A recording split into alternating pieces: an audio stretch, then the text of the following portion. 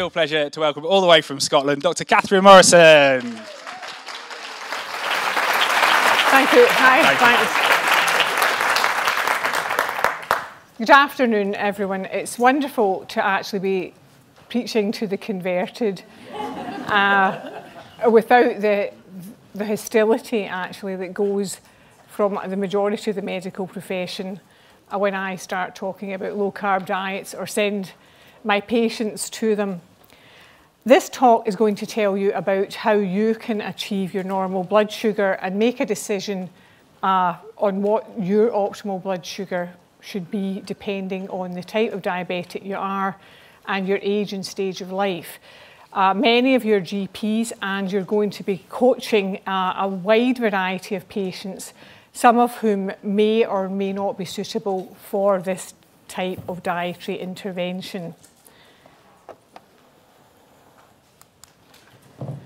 I've been a GP for 31 years in the west of Scotland, and I went on Atkins diet 15 years ago. I was really just to lose a few pounds, and I was amazed how immediately I felt much better, cutting wheat out my diet, the brain fog, uh, actual bleeding gums, nail growth, everything improved. Irritable bowel syndrome just completely went away. And after reading uh, more of Atkins' work, I realised it had great potential for type 2s, put type 2s on it and got wonderful results. A typical sort of person would be hemoglobin A1C of 8.5, reducing to 6.5 over a couple of months. Uh, my son, Stephen, became diabetic just a year after that, and that was fortunate because I had the experience with my type 2s to know that it would be absolutely crazy to put a type 1 on a high carb diet, as I was strongly encouraged to do. Uh, this has taken me, I've, I've met lots of uh, low carbers from various countries, uh, mainly virtually. I've co collaborated in papers, I've written a book, I run a diabetes education site, and I did the first uh, international comprehensive free course online for diabetics, but it doesn't have the peer support or videos that I think the new one will in diabetes.co.uk, uh, but it's on my diabetes site. Now, ever since the uh, DCCT trial uh, was published towards the late 80s, it has been found without a doubt that the better, the your tighter blood sugars result in better outcomes in terms of glycemia and also complications are markedly reduced. And therefore, ever since then, all throughout the entire world, all guidelines suggest go for much better blood sugar control, not you know, good blood sugar control.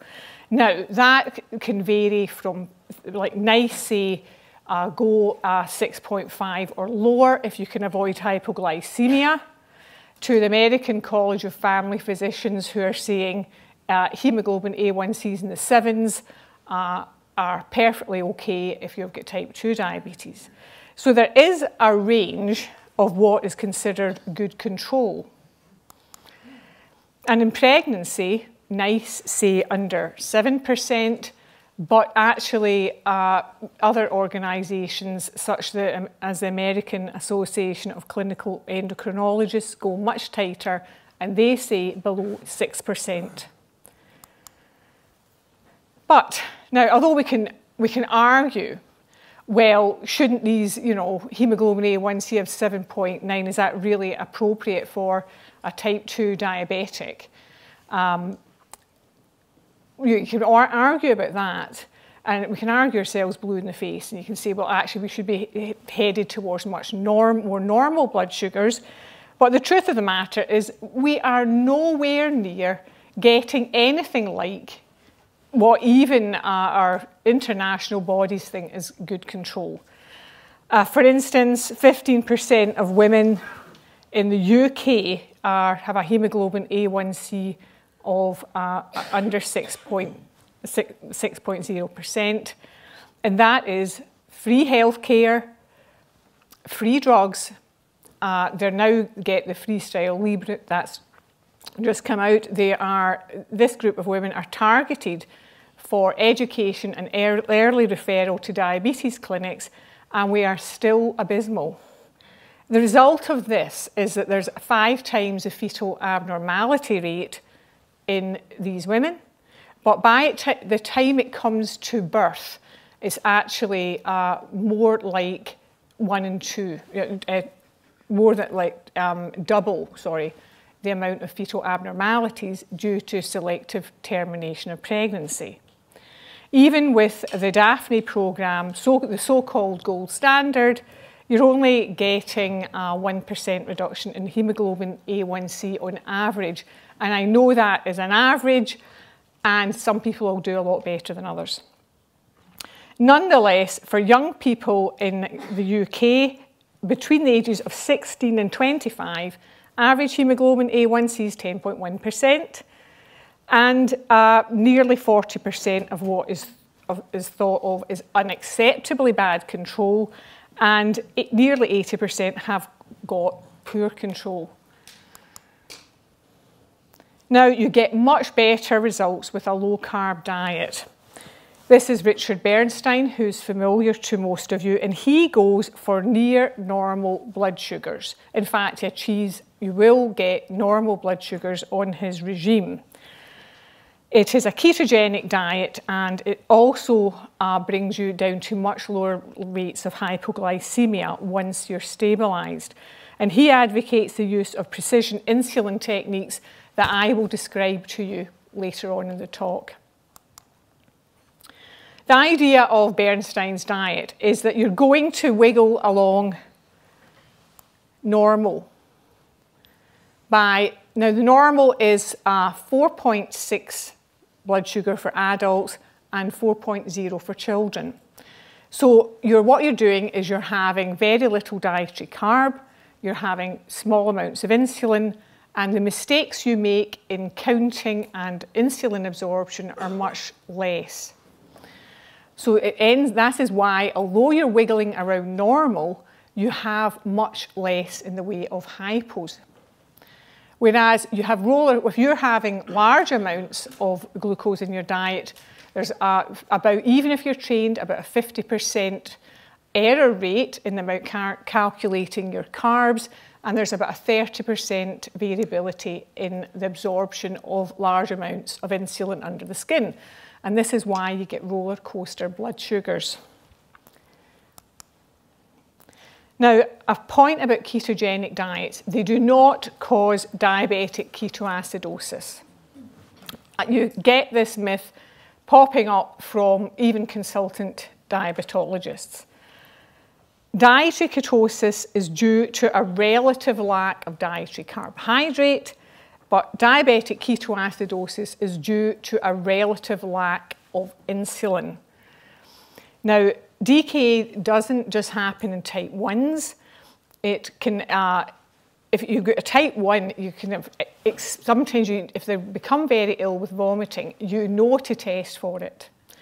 But some people you, who are young people, for instance, develop gastroenteritis and it, they're actually developing they're actually incipient type 1s. So it's important to test people that might fit the bill, uh, do a blood, you know, a, a urinary glucose of people who are young with what looks like a bad gastroenteritis because basically every you know month you might read in the papers of someone who is misdiagnosed because it wasn't thought of. The other group that can get it are type 2s who are put on the gliflozins. I have only seen one case. Uh, it's, not, it's not that common, but it is a side effect of the gliflozins, and I must have been using these drugs for about four years. No problem. I thought, well, I know about this, but ugh, it's not going to happen. It did happen. It happened relatively quickly to a new type 2, and I have no idea really why. Now, I like to give patients the most choice that I can. I am as liberal as possible in my advice because I don't want anyone uh, falling through the net saying, oh, that's, I'm not going to have 15 grams of carb three times a day. Um, that's not for me, and dismissing the whole thing. You can get very good blood sugars on more um, loose diet control. This is Jorgen Vesti Nielsen, who is the, the guy who has done the most in terms of long-term studies in type 1s and type 2s. And he basically got both type 1s and type 2s down to 6.4% or less. And that was after 44 months of treatment. And he again found that hypos were cut dramatically. So this, is, this is equates to 70 to 90 grams of carb a day. You can get normal pregnancies. In fact, Lois Jovanovic, who, this is a young Lois, she's a, a, an old lady now, uh, she gets her patients down to a hemoglobin A1C of 5.3% on a low carb diet, but she uses a lot of insulin, particularly in obviously not just type 1s but type 2s, and she backs that up with subcutaneous blood sugar meters with alarms to avoid hypos. And we're not set up for that in the UK at the present time. This is the Freestyle Libre. Um, and it's been available for about a year and it's now the guidelines about when you can use it in the NHS have come out. And unfortunately, the group that is going to miss out are us and our patients because we're striving for normal blood sugars and we are the ones who are going to be encouraging people to not get complications. So even though the NHS spends 80% of their diabetes budget on the treatment of complications and only 20% on basic care, they're not going to put the money into prevention for us, which is unfortunate.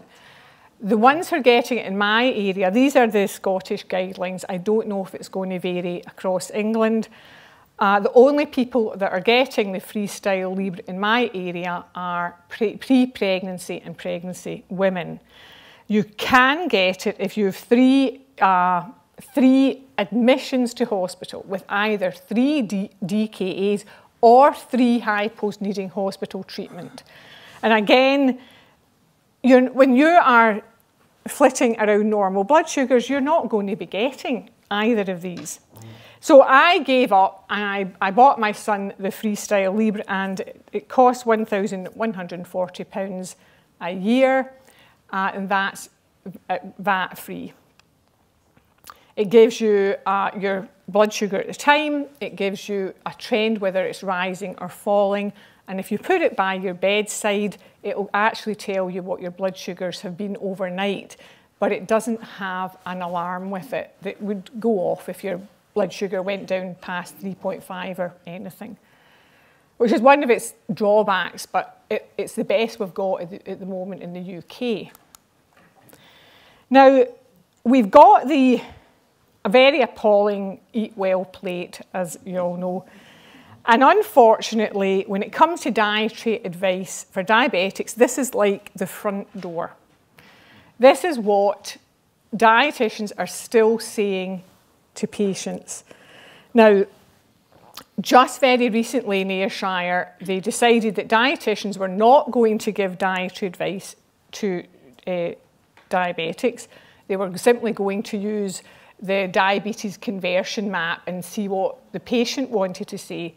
But after their entire professional careers have been spent on preaching this, that's, that's right, I have no faith whatsoever that they're going to tell people uh, not to eat plenty of fruit and unhealthy fats, or, you know, like margarine and vegetable oils better than butter, and all the, and give protein that's already got a lot of carbohydrate in it. So um, I, I have no faith in them, frankly. And we got in this mess mainly because of the, the, the dietary fat cholesterol hypothesis. First really started off, I would say, by Ancel Keys. And that's a story which you'll know all about and is not really the subject.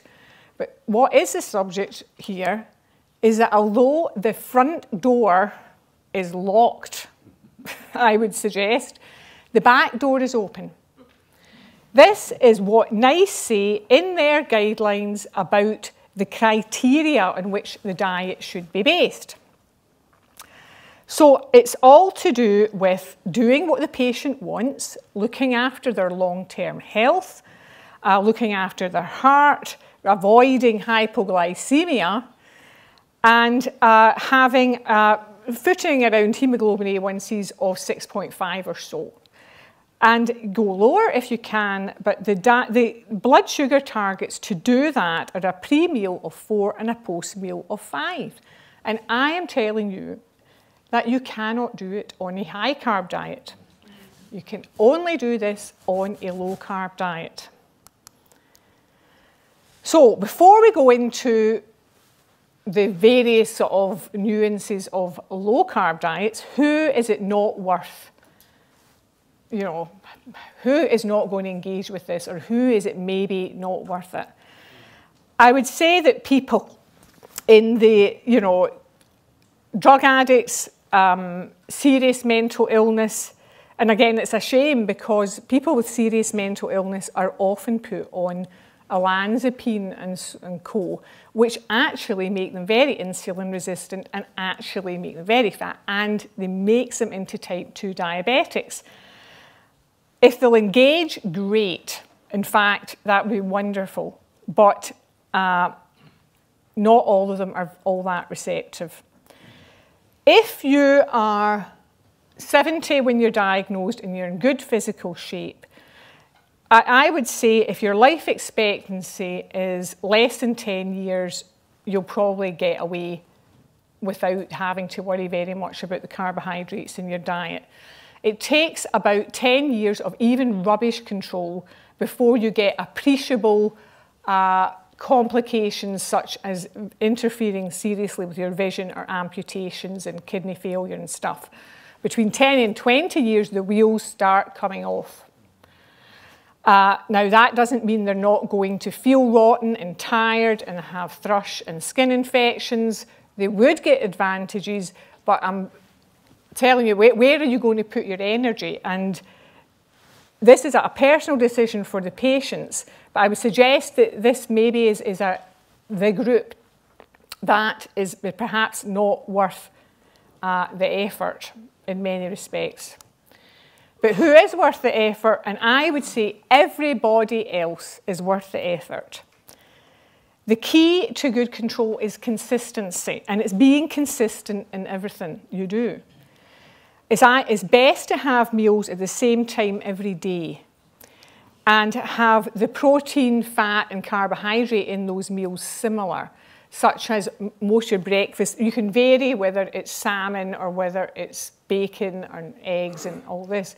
Uh, but if you, um, if you can keep the macronutrient, rough, all the breakfast roughly the same, all the lunches roughly the same, and all the dinners roughly the same, it's easier to get control. I don't think anyone should be going over 45 grams of carb in any one meal. And for people who are insulin resistant, which is going to include most type 2s, for instance, and adolescents, I would suggest your, your dawn phenomenon makes you more insulin resistant in the morning. I would suggest 15 grams of carb maximum at that meal. Uh, you're least insulin resistant at lunchtime so that you can go a bit higher, particularly if you follow that with exercise in the afternoon. So your 45 grams would be lunchtime. And your insulin resistance is somewhat in between in the evening, known as a dusk phenomenon, so go for about 30 then. You want to make exercise regular, a regular part of your life, and do it as consistently as possible. Sleep's very important. Even a couple of hours lack of sleep makes you more insulin resistant. It, makes, it puts your blood sugars out of whack. It makes you feel cranky and tired, and it makes you crave carbohydrates. You need to monitor adequately, and that for some type 2s will be just going to their doctor to get hemoglobin A1C once every three to six months. And for some type 1s, we'll be testing 10 times a day. It depends on where you are. So this is, I've said 45 gram maximum, and this is roughly what it looks like in terms of a refined carb. Now, these are moderate portions. Um, for instance, that amount of rice is about half what you might get if you went to an Indian restaurant and had a curry, at least in Scotland. and but look at what your Eat Well breakfast is, about 210 grams. Uh, so there's, and goes, I had to put a banana in there as well. So it's, it's, although it's for, you know, if you're on 30 grams of carb day, this looks astronomical, but it, not compared with what most people are eating.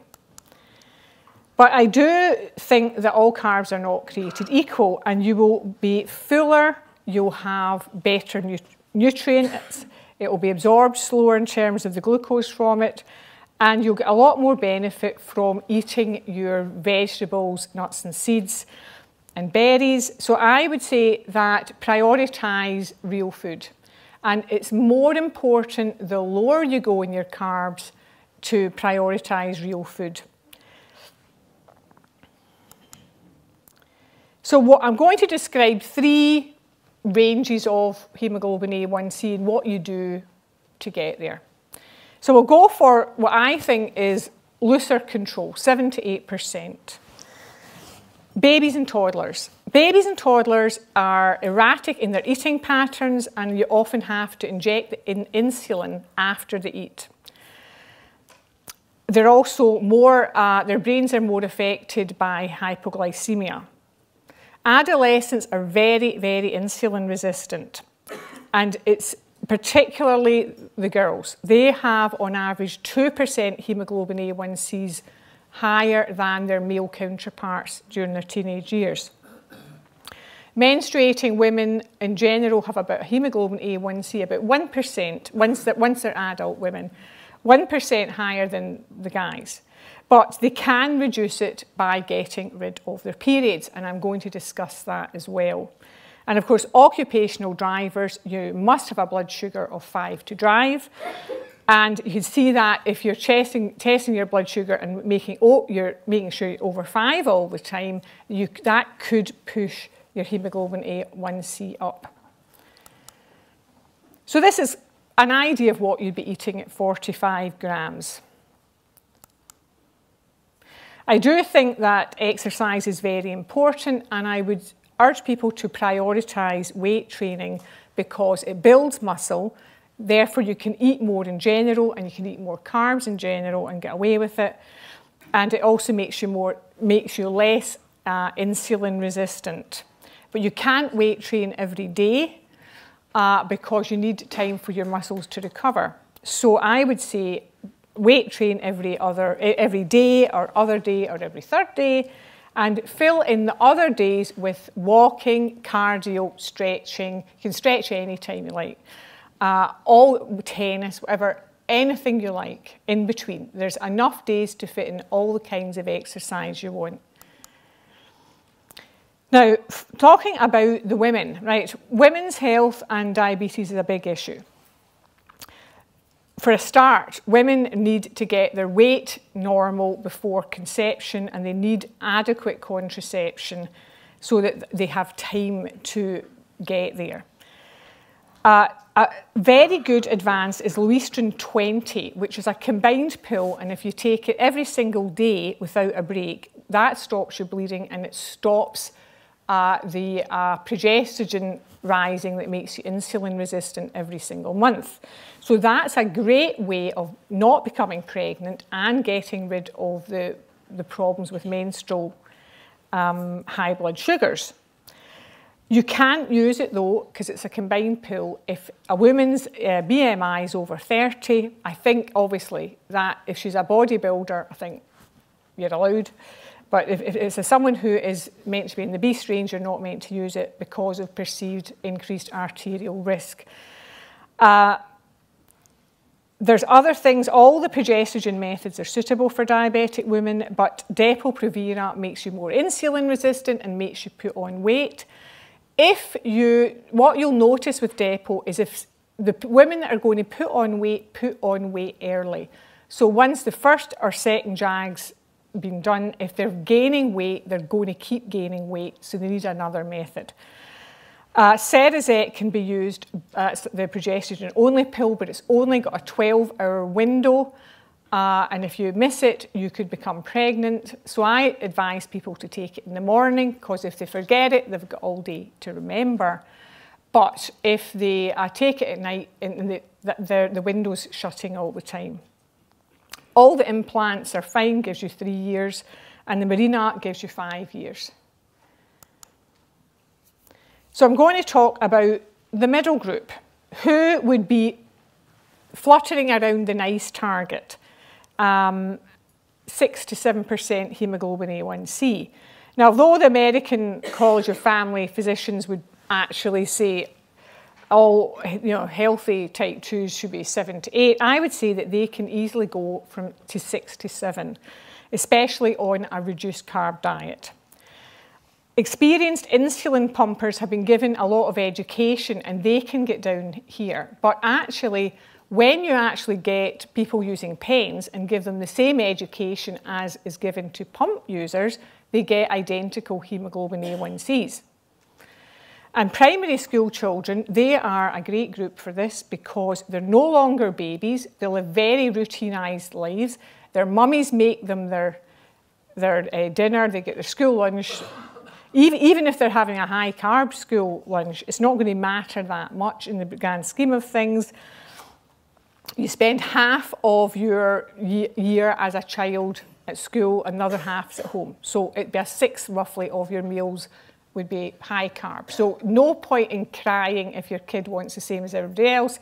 Go along with it. You can still get these blood sugars. Uh, of course, this all goes to pot once the adolescent years strike. So let's have a look. This is what a 30 gram carb meal would look like. And this is, this is where Jorgen Vesti Nielsen was with his patients. Now, this is just a point of reference for this hemoglobin A1C. Blood sugar targets are lower for lower hemoglobin A1Cs and they're higher for people with looser control. But you can see that these levels are still quite tight. People will have to increase their blood sugar testing when, if they're not getting the blood sugars they want. Also, if they are worried about hypos, such as they're getting frequent hypos, or they're driving, they're doing exercise or sport, and when they're doing sport, it's a good idea to do what I, and instead of just being, obviously if you've got a low blood sugar, you've got to correct it with, immediately with glucose.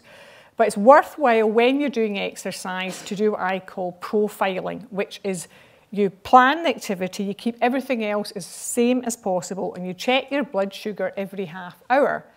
And what you're doing with profiling is trying to see what's happening to your sugars. And then you can have a more, instead of just reacting, have a strategic um, action plan about how you're going to deal with that. It does not make sense if you're trying to lose weight to eat carbohydrate to cover low blood sugars. If you're exercising your best, you have to do it immediately, of course, but if you're trying to lose weight, it makes more sense to cut your insulin, for instance. Uh, at any time when diet, medication, and our insulin are being adjusted, and of course during pregnancy. So now we want a wee normal baby, so we need to have near normal or normal blood sugar control. And this is not only applicable to women who want to have children, but if you want to reverse complications, uh, Dr. Bernstein has proven it so have patients in his uh, forum. And I've had a couple of patients who had marked improvement in vision and, or actually the eye changes and uh, also neuropathy of the feet. So you can get improvements, and this is very important for ulcer healing. Uh, it's almost it, it, takes maybe a week before you notice a difference, but you can see really quick improvements. If you're newly diagnosed and you want to keep your pancreas functioning as long as possible, going on the lower carb diets to get into really normal blood sugars is good because that will prolong your honeymoon phase. So this is what 15 grams or so looks like. And you're talking about mainly meat, fish, eggs, a lot of fat, uh, butter, cream, cheese, herbs and spices. You need to be creative so you don't get bored. I now want to speak about insulin, precision meal to insulin matching. And this is a subject all on its own, and I do, I do spend a lot of time in the books and in the courses telling you exactly how to do this. It's not that relevant to all to type 2s and maybe the majority of your patients, very relevant to type 1s. So again, you're going to eat three meals a day. You are going to have five hours between each meal. That is so that the insulin you inject for your meal has finished working by the time you have your next meal. And the ideal way to do that is to have seven units or less with each shot. You can have multiple shots, but only little boluses. And that will get your pens working just as efficiently as if it was a pump. And people go, oh my God, all these jags. There's other advantages. They're less painful.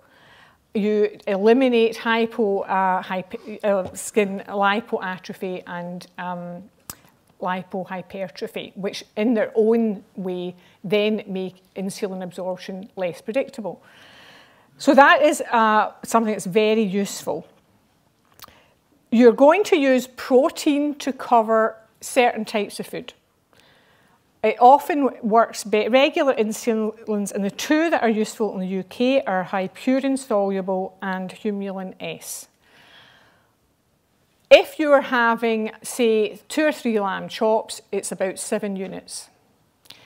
If you are eating pizza, pasta, and lasagna, which I believe in at least giving people the option, this, these are much better insulins to use for it. A pizza takes eight hours to digest. Someone, a diabetologist, spent a lot of time learning that, so eight hours. For a pizza, a steak, 10 hours. A big steak, 10 hours. So you can see that actually what you need to do is work out how much you need and actually give a jag at the beginning and a jag about halfway through. It's very, you're not going to, you're actually to cover these meals. So you're actually going to be doing a split jags. Fiasp has just come out. It's the new Novorapid. It works a wee bit quicker than Novorapid. Now, the idea with when you're using uh, the rapid-acting insulins to cover meals and starch is that it's a Gaussian curve.